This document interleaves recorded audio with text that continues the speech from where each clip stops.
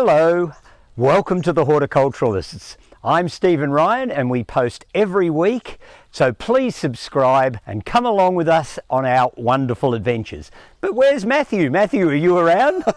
I am Mr. Ryan. I am going to come and join you on the other side of the lake. yeah, well, just be careful. I can't see you walking over water.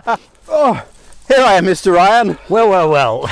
Welcome to my pond. And why are we, why shouldn't we be, in front of your pond? Well, in fact, we're here because of the very plant that you can see before us, which is commonly known as a giant marsh marigold. A giant marsh marigold. Yep, it's a obviously a bog plant. Yeah. It's called Caltha, we think, palustris, possibly subspecies polypetala. Pardon the pun.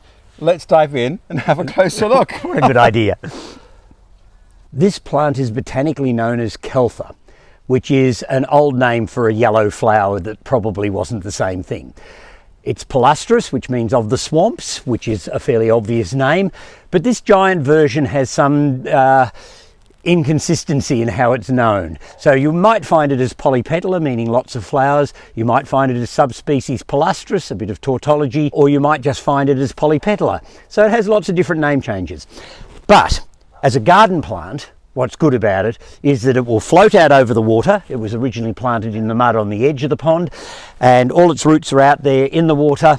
It has these huge water lily like leaves and these cheery bright yellow flowers most of the winter and spring. So it couldn't be better for a largish pond. It comes from northern parts of Europe and North America, even up into subarctic areas, so it will grow in the coldest of climates.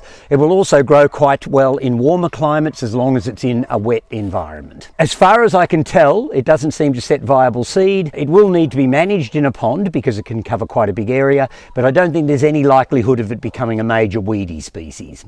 You can see here that it has nodes and at each node it will start to send out roots. Those will go down into the water. So it sort of runs along like a strawberry uh, and the stems are very, very porous and they hold a lot of air and so that keeps it buoyant and sits it up on the top of the water. And of course, the good thing about it is it's quite unusual to find aquatic plants that flower in winter. There's plenty of water lilies and other things that will do their thing through the summer. So this plant is particularly useful to make the edge of the pond look cheery and beautiful all winter long. Mr. Ryan, it is really beautiful. And now that you've mentioned it, I can see that habit of it sort of of stretching out across the water surface. It can. So I have to control it periodically. I, mm. About every two years, I get in there and rip bits off it and, and, and control it. In your Uh, waders. In my waders, yes. It makes fabulous fish habitat because the fish can go underneath it and hide. They can yeah, lay their eggs in there. Ah. Um, it shades the water a little bit. I think it's a wonderful plant. And talking of shade, what kind of light does it require? A lot of water plants like full sun. It's the other thing, it doesn't need full sun. So Ah. it's actually under the canopy of a large willow tree. Yes. The willows, of course, bare during the winter months, Yep. but in the summer, this pond is actually fairly shady and the Caltha copes beautifully. There you go. Well, win, win, win. Exactly. Now, Stephen, do you not have several aquatic gardens in your garden, aquatic ponds?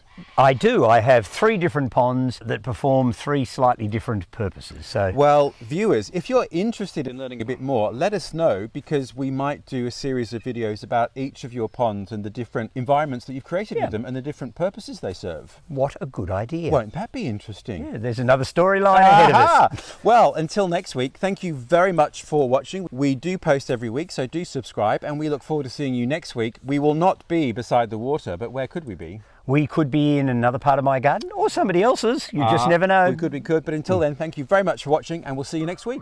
Bye all.